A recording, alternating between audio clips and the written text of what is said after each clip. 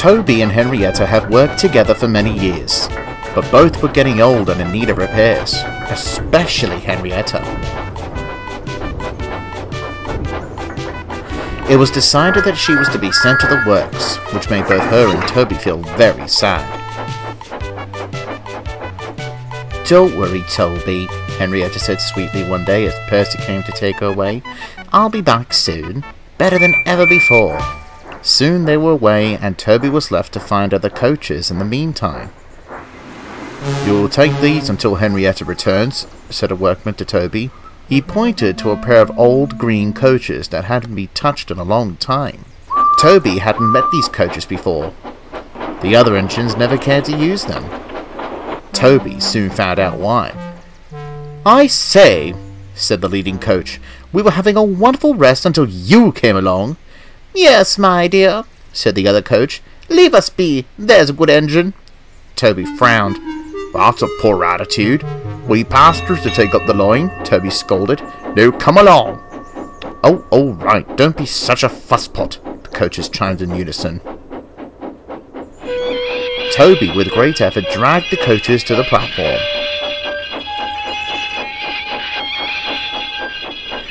Passengers filled into the compartments, and soon the train was full, much fuller than the coaches would have liked. We're fit to burst, they cried. Stuff and nonsense, said Toby, who was becoming rather annoyed with these old coaches. They're only passengers after all. Noisy, clumsy, heavy passengers, shrieked the coaches. We'd rather be in our nice warm siding. Toby was furious. He had never met such stubborn coaches. Soon the guard's whistle came, and it was time to leave. You can concern yourself with resting when our work is done. We don't want to go, and you can't make us. We'll see about that, Toby seethed. He pulled with great effort, but the coaches only crept along, their brakes squealing terribly. Oh, oh, oh, you're hurting us, the coaches cried. Toby rolled his eyes. Come on, Toby said, and gave another great heave. Finally, the coaches gave up, and they were on their way.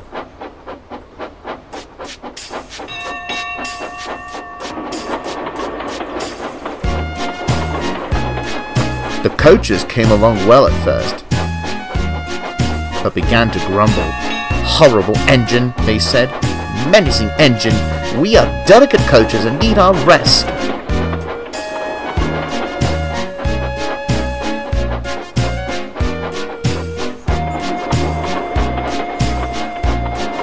Soon they started up Gordon's Hill, and the coaches became rather upset. Too steep! We're exhausted! Yes, we need a rest! You've strained us too much!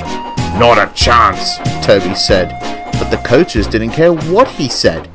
They turned their brakes hard on, and soon the train came to a screeching halt right in the middle of Gordon's Hill. I can't believe it, said Toby with feeling.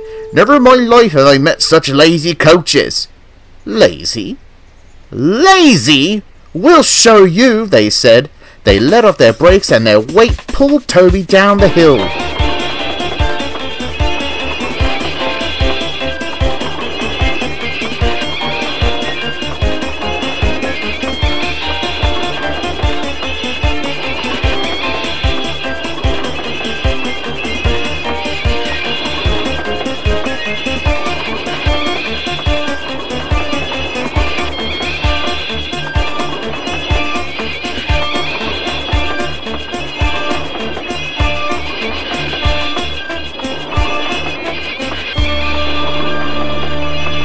Soon they settled at the bottom, leaving Toby red in the face and very cross.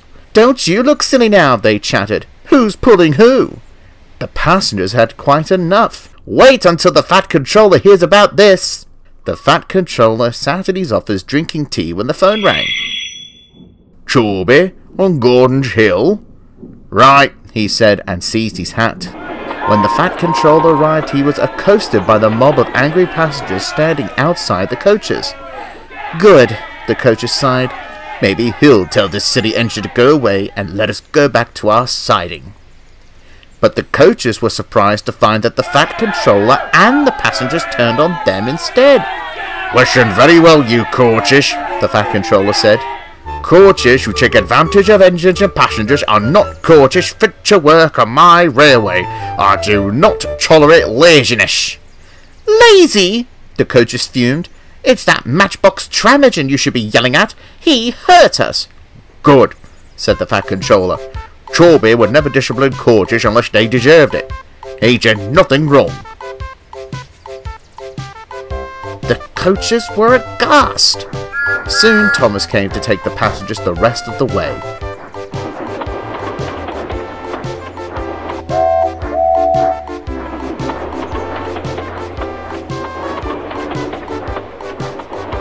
The coaches were taken away and Toby slunk back to his shed feeling very silly.